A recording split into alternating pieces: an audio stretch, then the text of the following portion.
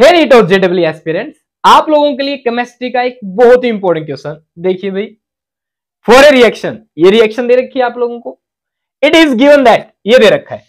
लोग this this and this आपको बताना है what is A ratio B या आप लोगों से पूछ लेते हैं भाई ए बाई बी की वैल्यू क्या होगी? ऐसे दे दे ए की बात है। गाइस नीट और जेडब्ल्यू एग्ज़ाम में ऐसे ही क्वेश्चन पूछे जाने के पूरे पूरे चांस है। ये, अगेन, एक बहुत ही स्टैंडर्ड क्वेश्चन है, जो आप लोगों को अटेम्प्ट करना चाहिए। ठीक है? कैसे अटेम्प्ट करना चाहिए? वीडियो को पोस्ट करें तो जल्दी से वीडियो पोज कीजिए और आंसर कीजिए। ये आप लोगों के सामने ऑप्शन है। ठीक है? एक बार ट्राई ज़रूर करना। अब आ जाइए भाई। भाई, सबसे पहले ये क्वेश्चन आप लोगों का केमिकल काइनेटिक्स से है। जिसमें एक रिएक्शन दे रखी है।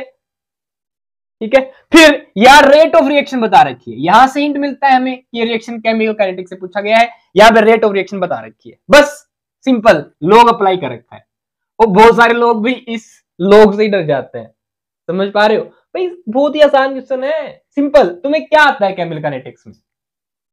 रेट ऑफ़ रिएक्शन निकाली जाती है। जिसको नहीं आती तो लिंक वीडियो का डिस्क्रिप्शन में है। एक ही वीडियो में आपकी केमिकल काइनेटिक्स कंप्लीट हो जाएगी। आराम से वीडियो देखिए। ठीक है? पहले वीडियो को देख लेना। फिर ये क्वेश्चन अटेम्प्ट करना। बहुत आसान हो जाएगा। अब आ जाओ, सीख लो भाई। अगर मैं आपको एक केमिकल रिएक्शन दे दूँ, ये दे दी मैंने आप लोगों को।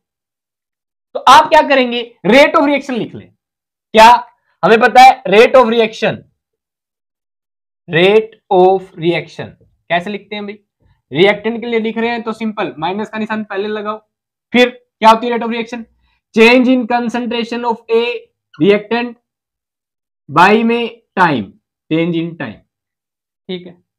साथ में डिवाइड करेंगे जो आगे स्टोचोमेट्रिक कोफिशिएंट होता है, क्या भाई? ए ए से डिवाइड करो। या आप कहेंगे one by this stoichiometric coefficient से गुना कर देंगे। समझ पा रहे ठीक है। इसको ऐसे लिख सकते हो simply minus of one by A into में change in concentration of A by में टाइम ठीक है? अब रेट ऑफ़ रिएक्शन को हम लिखेंगे अभी in term of product reactant की टर्म में हमेशा आगे माइनस लगाएँगे आप change in concentration by change in time dividing with this stoichiometric coefficient लिख दिया आपने रेट ऑफ़ रिएक्शन सिंपल अब इन टर्म ऑफ़ प्रोडक्ट कैसे लिखेंगे? सिंपल भी क्या? प्लस का निशान. माइनस का रिएक्टेंट के केस में प्लस का प्रोडक्ट के केस में. ऐसा निशान का क्या चक्कर देखो. चेंज आप कैसे निकालते हो? Final minus initial concentration. अब रिएक्टेंट एक रिएक्शन में लगातार डिक्रीज होता है। तो फाइनल रिएक्टेंट की कंसेंट्रेशन क्या हो जाएगी कम और इनिशियल कंसेंट्रेशन क्या होगी ज़्यादा? तो घटाओगे तो क्या आएगा? माइनस अब अगेन सामने पहले से माइनस लगा दो तो माइनस माइनस क्या हो जाएगा? प्लस क्यों? रेट ऑफ़ रिएक्शन क्या होती है भाई? प्लस होती है। ठीक है? माइनस में नहीं रहते यहाँ पर रेट ऑफ़ रिएक्शन समझ पा रहे हो? कि हो तो या तो रिएक्शन होएगी नहीं।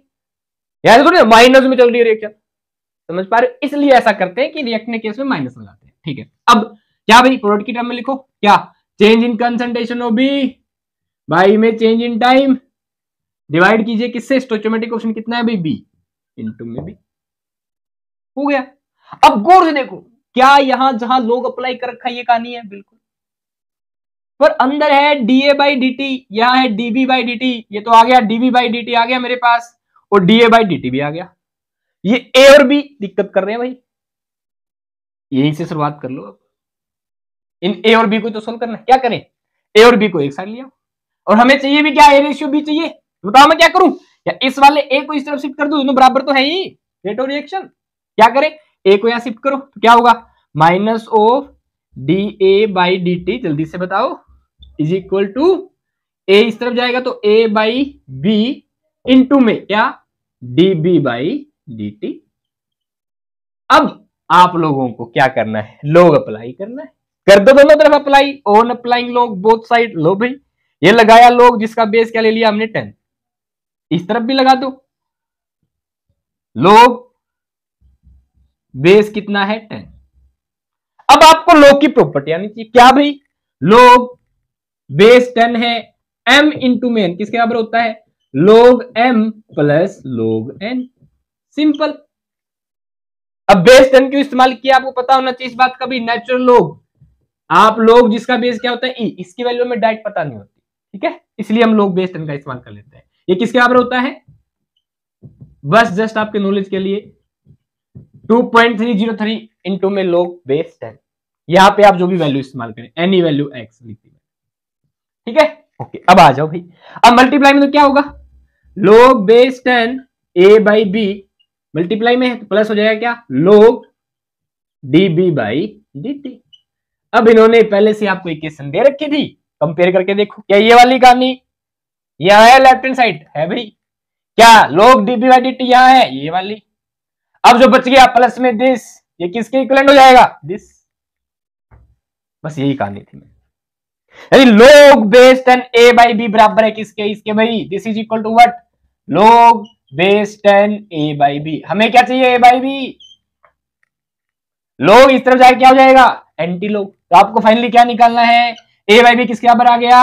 Anti log what zero point six zero two zero अब मेरी बात गौर से सुनो। क्या? यही वैल्यू होगी किसके? आपकी ए बाई बी की। लोग इस तरह गया? तो कितना हो गया? Anti log zero point six zero two zero anti log कैसे निकालते हैं। देखिएगा। लोग बेस टेन टू की वैल्यू कितनी होती है? Zero point three zero one zero बोलो है कि नहीं? ठीक है। लोग बेस टेन फोर की वैल्यू कितनी होती है? डबल कर दो zero point six zero two zero है कि नहीं? लोग बेस टेन फाइव की वैल्यू कितनी होती है भाई? Zero point six nine nine zero बोलो है कि नहीं? ठीक है। लोग थ्री की value zero point four seven seven zero point four eight ले सकते हैं ठीक है? ये आपकी लोग की वैल्यू होगी। यानी अब और अलावा क्वेश्चन किसमें बन गया भाई? लोग की टर्म में बन गया। बोलो है कि नहीं? ठीक है? देख लो भाई, क्या दे रखा आपको? लोग बेस टेन अगर ये इस तरफ़ चला जाए तो एंटी लोग हो जाएगा। Anti log zero point six zero two zero की वैल्यू क्या बन जाएगी? फोर सिंपल कैंसिल करेंगे। तो फोर किसके बराबर आ जाएगा? एंटी लोग क्या? Zero point six zero two zero क्या यही है क्या आपका? यही पूछा है, यही निकालना है। इसकी वैल्यू किसके होती है? फोर के बराबर। This is the answer four finish log को देख के हम डर गए थे। न तो आपको लोग को देख के डरना है, न ही लोगों को देख के डरना है। ठीक है? सिंपल सा, अपने नॉलेज का प्रॉपर इस्तेमाल।